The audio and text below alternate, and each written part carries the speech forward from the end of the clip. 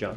Uh, following up on Iran, I mean, when you have the, the supreme leader using such inflammatory language, uh, calling uh, the, America's closest ally in the region the rabid dog of the region, I'm a little surprised to see the kind of muted response uh, from the administration. Is the White House concerned that coming out and condemning those comments uh, would disrupt these uh, the, the, the emerging deal in Geneva? Well, soft pedaling, in other words, so that uh, Absol- Absolutely not. I think that our position, uh, in terms of our support for uh, Israel's security, uh, is clear. I think the president has a very strong record of that, and that's, in fact, that is something that uh, the Iranian regime, I think, has complained about in the past. So there is no doubting the strength uh, of our support for the nation of Israel and for our commitment to the nation of Israel's security. So Uh, there should be no mistaking that. Uh, in fact, it is our view that you know, pursuing this diplomatic opportunity uh, would have significant benefits for Israel's security.